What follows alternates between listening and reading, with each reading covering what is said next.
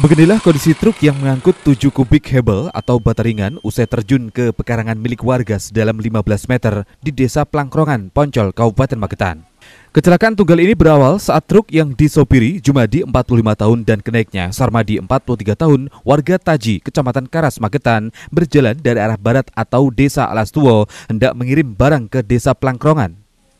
Saat di lokasi kejadian, ada jalan yang menurun dan menikung tajam. Alhasil, truk tak bisa dikendalikan akibat rem tak berfungsi dengan baik. Truk langsung terjun ke pekarangan warga dan terguling sebanyak dua kali hingga muatannya pecah semua. Atas peristiwa laka tunggal ini, pemilik mengalami kerugian sekitar 15 juta rupiah. Beruntung tidak ada korban jiwa, Sopir maupun kenaik truk hanya mengalami luka ringan. Kedua korban langsung dilarikan ke Rumah Sakit Saidiman Magetan. Pak, kemungkinan ini dari atas atau dari bawah? Dari atas. Dari atas. Dari atas. Ceritanya dari atas. Uh, ini truknya ini ngangkut apa sih, Pak? Herbal nih.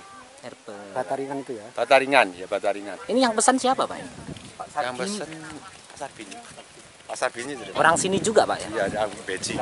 Perkiraan ini berapa gubek, Pak ini? Empat gitu. Oh, mau ngantar gitu ya? Iya, mau ngantar. Itu kernetnya kan sakit, Iya. luka-luka. Itu Iya. dibawa ke rumah sakit atau Langsung dibawa ke rumah sakit. Karena masih menunggu truk derek untuk bisa dilakukan evakuasi, bangkai truk menjadi tontonan warga sekitar maupun pengguna jalan yang melintas. Heru Kuswanto, CTV, Magetan.